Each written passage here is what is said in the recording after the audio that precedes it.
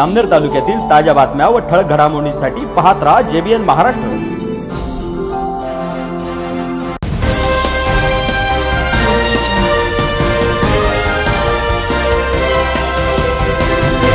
नमस्कार मी विनल चौधरी. पाहूया काही ठळक वृत्त.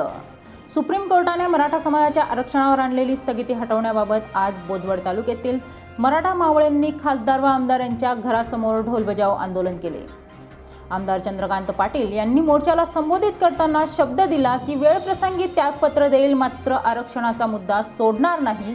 मराठा समाजाला आरक्षण हे मिळणारच असेही ते या प्रसंगी म्हणाले.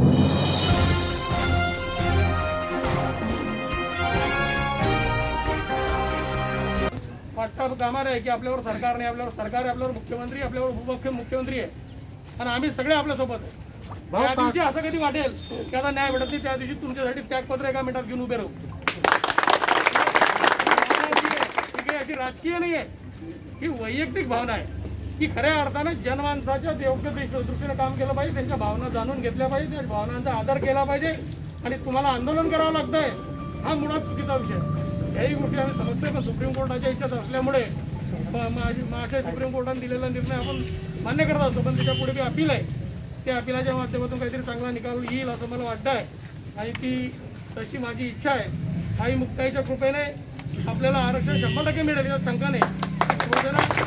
किंवा महाविकास आघाडीतला प्रत्येक घटक पक्ष राष्ट्रवादी काँग्रेस काँग्रेस आम्ही सगळे जर तुमच्यातले आम्हाला तुमच्या चांगल्या संदर्भामध्ये चांगले निर्णय घेण्याच्या दृष्टीकोनातून प्रयत्न करायचे आहे.